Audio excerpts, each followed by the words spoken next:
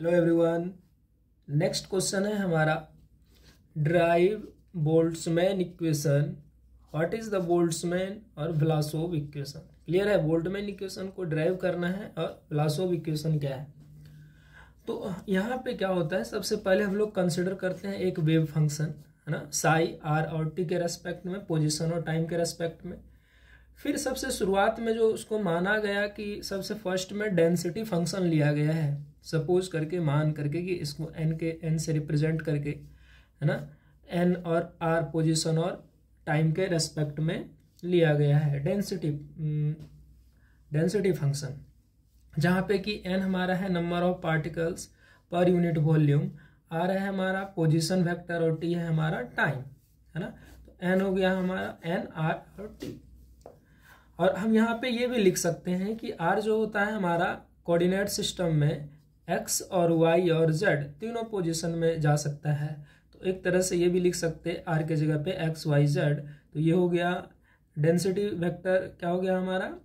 N X Y Z और T तीन हो गया यहाँ पे। तो एक, दो, तीन, चार, ये हमारा चार वेरिएबल में ये बट गया। तो हम बोल सकते कि ये चार इंडिपेंडेंट वेरिएबल वेरिएबल पे डिपेंड करता है। These four variables some properties are not satisfied due to इसका कहने का मतलब है कि इस प्रॉपर्टीज़ में, इतना वेरिएबल्स में से कुछ चीज़ें ऐसे आया जो कि सेटिस्फाइड नहीं होने लगा। जैसे कि हमारा फ्लूड इक्वेशन और वगैरह सब इससे सेटिस्फाइड नहीं हुआ। तब इनको लगा कि इसमें कुछ कमी है। फिर एक साइंटिस्ट आए, मैक्सवेल, उसने हल्का सा इनके इक्वेशन में चेंज किया। मैक्सवेल ने क्या बोला? उसने चेंज क्या किया? डिस्ट्रीब्यूशन फ़ंक्शन दिया, ना? डिस्ट्रीब्यूशन फ़ंक्शन एफ़ इसको हम लोग एफ़ से रिप्रेजेंट करते हैं। तो उसने क्या बोला कि आर और टी के साथ साथ हमारा वी भी होना चाहिए वेलोसिटी होना चाहिए।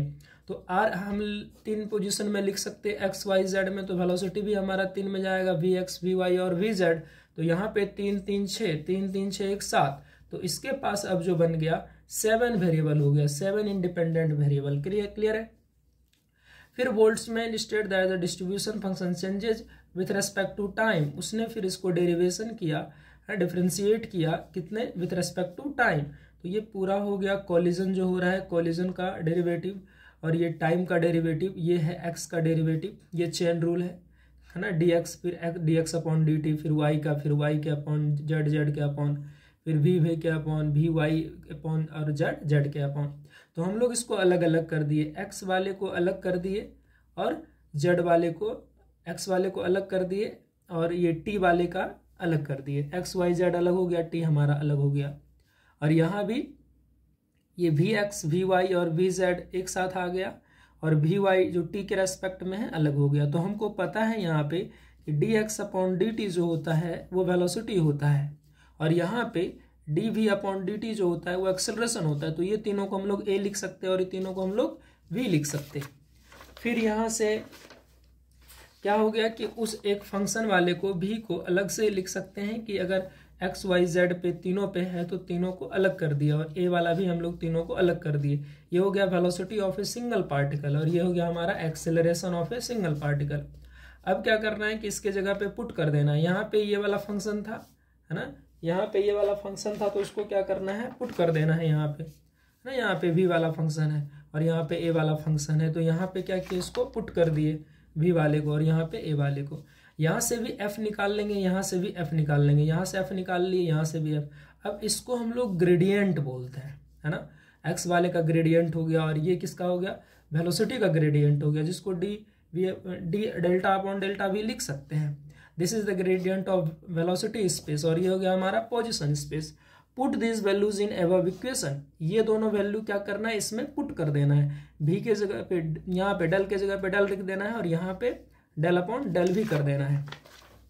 फिर ये इक्वेशन हमारा आ गया del upon del F upon del T velocity और gradient F plus F upon M यहाँ पे जो ए आने वाला है, उस फोर्स एक्सलेशन बराबर क्या होता है? फोर्स अपॉन मास तो एफ़ अपॉन एम कर दिया D F upon D T यही हमारा जो होता है, ये है वोल्ट्समैन इक्वेशन ये.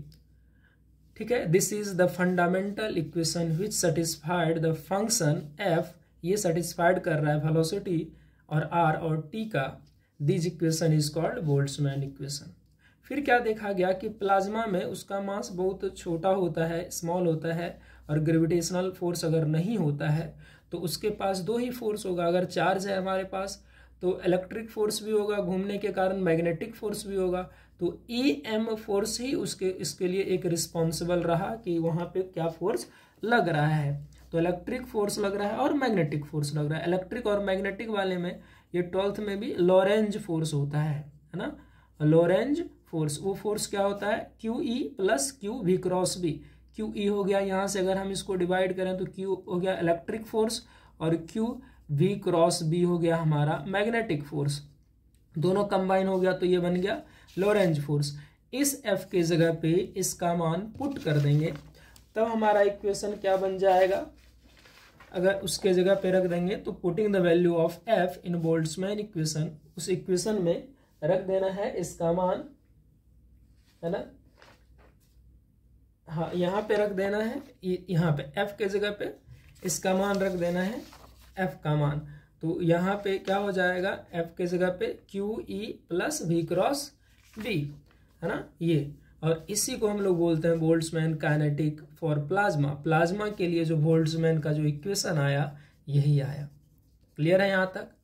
फिर इसमें थोड़ा बहुत प्रॉब्लम क्रिएट होने लगा कि कुछ चीज़ें ऐसे ऐसे चीज़ें आया प्लाज्मा में, जो कि सेटिस्फाइड नहीं होने लगा। तो उस टाइमिंग में ये ब्लासोब आए। ब्लासोब ने क्या देखा कि जब वो बहुत ज़्यादा गर्म है ना तो वो जब कॉलिजन करता है the plasma is very hot plasma अगर गर्म है, और अगर वो कोलिजन भी करता है तो उसका जो फ़ंक्शन होता है डिस्ट्रीब्यूशन फ़ंक्शन वो चेंज नहीं होता। वो चेंज नहीं होता। अगर चेंज नहीं होता नेट ये वाला तो D F upon D T जो कोलिजन का होगा, वो हो जाएगा ज़ीरो इसका मतलब ये वाले फ़ंक्शन को हो गया ज़ीरो बाकी इतना बराबर ज़ीरो कर दिया गया। यहाँ पे D F upon D T ये लिख करके ज़ीरो करा दिया। तो इसको उसने नाम दिया कि ये है हमारा व्लासो इक्वेशन वेलोटीज वेलोसिटीज का इक्वेशन क्लियर है? Thank you